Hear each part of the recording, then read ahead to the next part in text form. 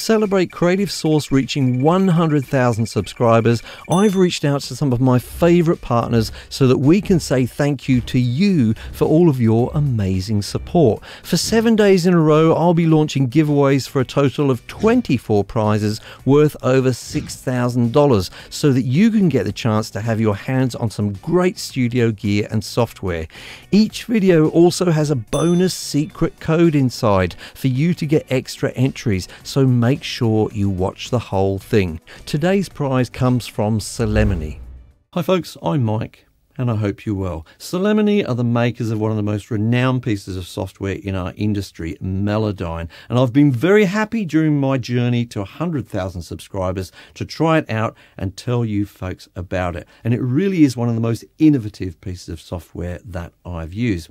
Now, it's best known for something called pitch correction. That's not to be confused with auto tune. Auto tune, as its name suggests, automatically tunes or pitch corrects everything that it hears. That can end up in results which sound a little sort of robotic and maybe not very human. I find with Melodyne, because it's a much more tailored, hands on approach, you really do get a much more natural result. But it's capable of so much more than just pitch correction. It can also deal with timing, with sibilance, and also chords as well. And I touched upon that during one of the videos I made about Melodyne, where I looked at some of the reasons I think you should get hold of it and use it. So let's take a look at that clip and see how it does handle chords. So if you think Melodyne is only about melody and vocals, then you're going to be pleasantly surprised by the way it handles chords and instruments. So what I have loaded up on the screen here is an electric guitar part, which I recorded last night and I've applied Melodyne and you can see right away that it's actually picked out the individual notes in the chords here and if I play it you'll be able to see that in context.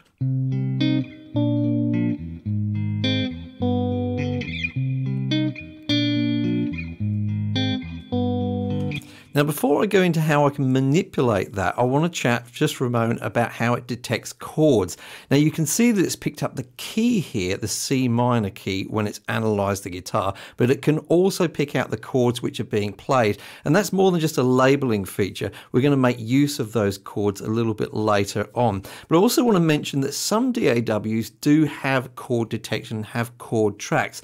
And if they meet the right standards, then Melodyne can actually make use of those as well well. So when you use this, you may already see some chords appear there. But if you don't have a DAW that does that, then Melodyne can do it for you. So right at the top of the window here, we can see an area where the chords are going to be displayed. There's nothing there at the moment, so I'll right click and I'll click on Analyze Chords, and you can see right away it's picked up some chord names there. Now I've been using this for about the last week or so, and I have to say it does a very, very good job. A lot of the time it just gets the chords correctly, even when they're more complex chords.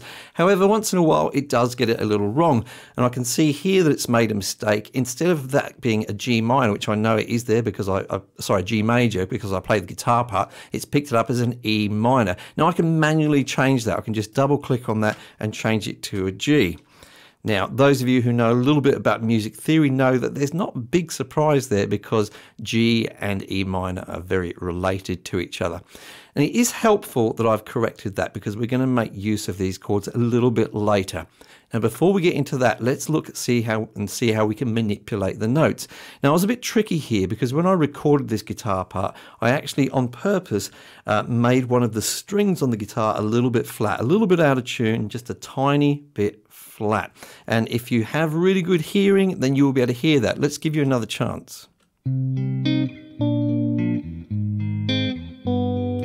Hear it mostly in those top notes there. Well, we can really easily fix that just by double clicking on that note there. So I'll just double click on it and you can see it just snaps up a little bit to the center of the note that it's on. Okay, it's a small adjustment, but it can make a difference to it there and there and now those notes are in tune.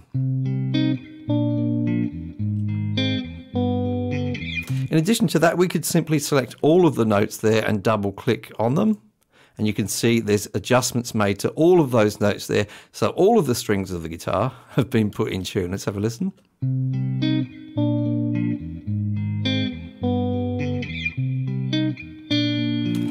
Now, something I'm using Melodyne more and more for is sibilance. Sibilance is that and sound in your voice, and it can be quite annoying when you hear it a lot. Traditionally, we use something called a de esser, which focuses on a narrow range of frequencies and applies compression there. Now, they can be very useful, but they can also be a little hit and miss. Melodyne takes a completely different approach and identifies anything in your voice which is non pitched. That includes sibilants and also things like breaths as well. I really love this approach and I find it more accurate. Let's take a look at a clip from that video again where I talk about and show you how to use the sibilance tools.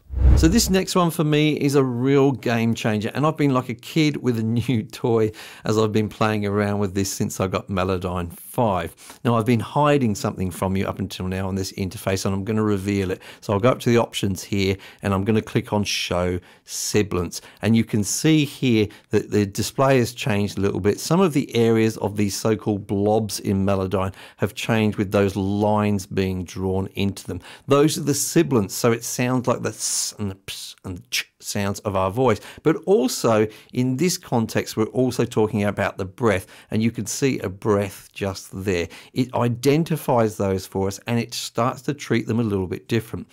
And the reason for that is because as humans, we can pitch the note, the sound of the voice, which is making the note, but we can't actually pitch the sibilants. We can't actually change the pitch of that ourselves when we sing. However, previously in this kind of software, when we've been altering the pitch or, or tidying up the pitch of some singing, we've also been changing the pitch of those sibilants, and that's probably added to it sounding a little bit unnatural.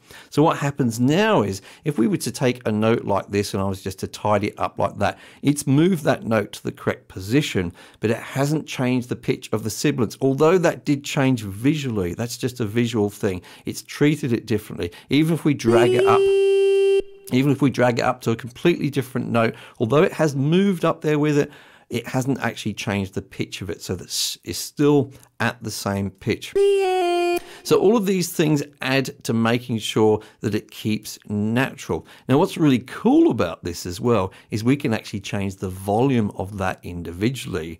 Ping, light bulb moment. You know, all of us who have used de-essers in the past are now thinking, ah, this could be really, really handy. So we can actually look at that sibilance there, and I'll bring up this tool here, which is the sibilance balance tool. Now look what happens now when I drag up and down. You can see that the note here has got much quieter, but the sibilants sound the same. I can do it the other way. It restores the note to the original value, and I'll bring that S down.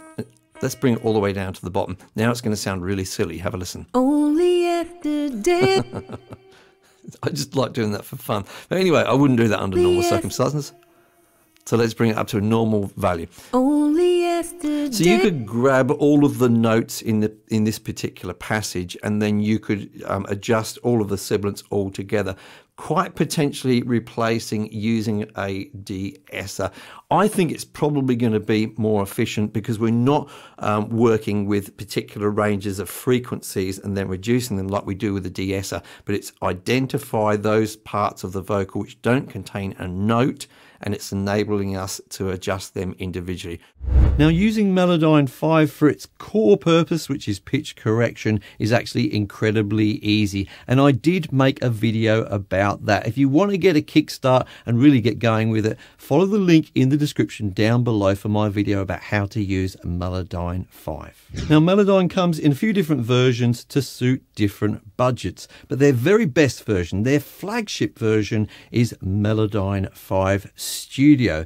And it's that that I have for you as a prize in this giveaway. Yes, the lucky winner will win a full license for Melodyne 5 Studio, valued at around about 699 US dollars. Let's call it 700, shall we? Now, in a moment, I'm going to tell you how you enter this competition. But first of all, let's talk about some of the things you don't have to do to win this prize. So, some of the things you don't have to do to enter this giveaway is subscribe to this channel, like this video, or leave a comment down below. Now, if you do think you'd find this channel useful in the future, then go ahead and subscribe and ring the bell. And if you do think this video is great, hit the like button to show some appreciation. And if you want to leave a comment about what you think about Melodyne and how you think you may be using it in the future, I'd love to hear from you. But you don't have to do any of those things to enter this giveaway. So what do you have to do? So to enter this giveaway, you simply need to visit homestudiogiveaway.com slash Celemony, or to make it easier, just follow the link in the description down below. There you'll find all of the different ways that you can enter, and you can enter in multiple ways and have multiple entries to increase your chances. I look forward to seeing you there. A big thanks to Celemony for providing the prize for this giveaway, and a huge thank you to all of those people who have helped to get me to 100,000 subscribers. I will see you in the next giveaway video.